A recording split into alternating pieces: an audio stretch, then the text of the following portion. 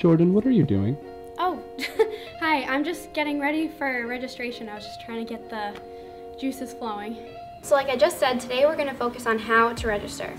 So just make sure that you have gone over your degree works and you've also talked to your advisor to see that you are on track for the classes that you want to take. And then also make sure that you had the correct CRN numbers that you need to put in uh, when you register. CRN stands for course registration number. It's important to have the right number so you don't accidentally sign up for the wrong class.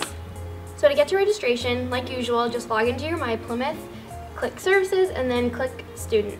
After that, you'll be brought to this page here and you're gonna wanna click the drop down arrow where it says registration. Now there's no thing that directly says registration for classes. You're gonna wanna click add drop classes because technically you're adding in classes for the next semester. After that, a drop down arrow um, is going to appear and it's going to ask you which term you're selecting for. So um, let's use the example of spring 2017 since that's the next one coming up. So I would click spring 2017.